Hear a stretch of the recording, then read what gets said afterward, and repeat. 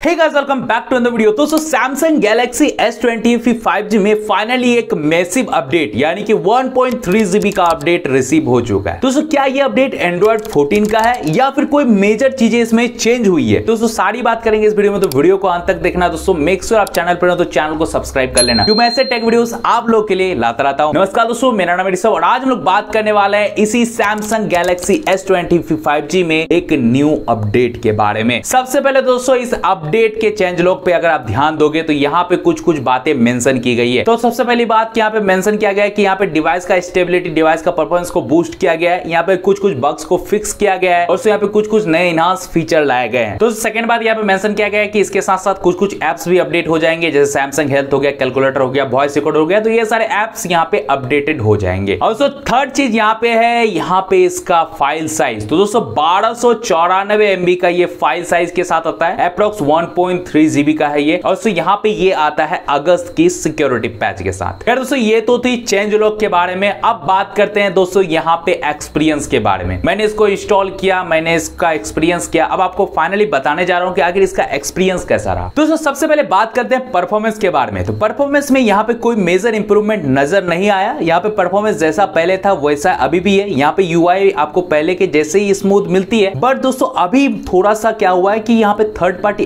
Application में मुझे जो 120 हर्ट्ज पे पहले स्मूथ फील होता था, वो थोड़ा सा कम फील होता है कुछ कुछ एप्लीकेशंस में। अब दोस्तों, बात करें यहाँ पे कोई जीटर या लैग की तो मुझे कोई भी देखने को नहीं मिला है। और सो ओवरऑल अगर बात करूँ तो परफॉर्मेंस के मामले में मुझे सब चीज़ यहाँ पे पहले के जैसा ही नज़र आया है। अब जो सेकंड चीज़ बात कर लेते हैं यहाँ पे इसके कैमरा के बारे में। तो कैमरा में यहाँ पे दोस्तों, मुझे कोई भी मेजर इंप्रूवमेंट नहीं लगा है। यहाँ पे कैमरा परफॉर्मेंस पहले की जैसा ही है। बट तो यहाँ पे मुझे कैमरा में एक प्रॉब्लम नज़र आया है। यहाँ पे अगर आप लोग व्यू फाइंडर में देखोगे तो कैमरा को आप जब 1x से 0.5x में, यानी कि वाइड से अल्ट्रा वाइड में स्विच करोगे तो यहाँ पे इसका व्यू फाइंडर में कलर शिफ्ट कर जाता है। यानी कि व्यू फाइंडर में कलर्स थोड़े से फेड नज़र आते हैं यहाँ पे अल्ट्रा वाइड में। बट सो पिक्चर आप जैसे क्लिक कर लोगे तो उसके बाद फिर पिक्चर पहले के जैसा ही आपको देखने को मिलेगा। पहले के जैसा ही कलर्स आएँगे शार्पनेस आएँगे। अभी दोस्तों मैं अगर आपको यहाँ पे दिखाना चाहूँ तो शायद ये कैमरा में अभी कैच नहीं हो पा रहा है। बट दोस्तों अगर आप लोग रियल देखोगे तो आपको फील होगा कि हाँ थोड़ा सा कलर शिफ्ट होता है व्यू फाइंडर में ना कि पिक्चर क्लिक करने के बाद वैसे दोस्तों यहाँ पे मैंने यहाँ पे पिक्चर अपडेट से पहले और अपडेट के बाद क्लिक किया है यहाँ पे कोई भी मेजर चेंजेस आपको देखने को नहीं मिल रहा होगा यहाँ पे अल्ट्रा वाइड हो गया वाइड हो गया टेलीफोटो हो गया तीनों लेंसेज से यहाँ पे मैंने पिक्चर क्लिक करके रखा है अपडेट के पहले अपडेट के बाद का यहाँ पे मेजरली कोई भी चेंजेस यहाँ पे नज़र नहीं आ रहा है मुझे दोस्तों अब बात करते हैं अगर वीडियो के बारे में तो वीडियो भी पहले के जैसा ही है यहाँ पे कोई इसमें इंप्रूवमेंट नज़र नहीं आया है अब सो फाइनली बात करते हैं यहाँ पे बैटरी के बारे में तो दोस्तों यहाँ पे बैटरी में मुझे थोड़ा सा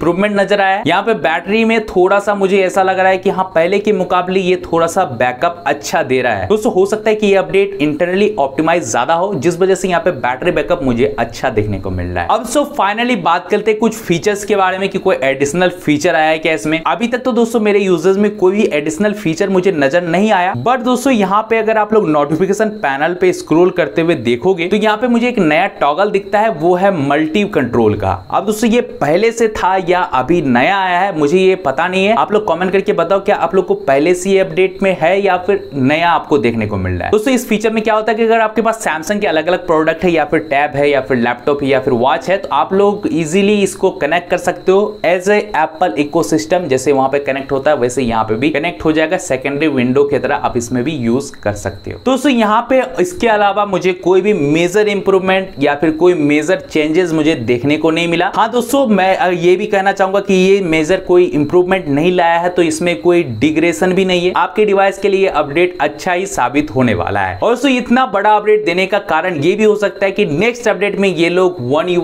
सिक्स का अपडेट इसमें रोल आउट करे। तो हो सकता है दोस्तों इंटरनली कुछ कुछ चीज़ें इसमें चेंज की जा रही है, ताकि ये अगला वाला अपडेट है, उसको झेल सके। दोस्तों, इस अपडेट के बारे में मैंने जितना भी एक्सपीरियंस किया, आपको बता दिया। अगर कुछ फीचर्स मुझसे छूट गए हो या फिर कोई चीज़ छूट गया हो तो आप नीचे में कॉमेंट कर देना, ताकि दूसरे लोगों को भी हेल्प हो जाए। आई होप दोस्तों, आपको वीडियो अच्छा लगा हो, वीडियो अच्छा लगा हो तो प्लीज़ लाइक करना, ढेर सारा शेयर करना चैनल पर हो तो चैनल को सब्सक्राइब कर लेना। तो फिर मिलते वीडियो में, तब तक के लिए जय हिंद।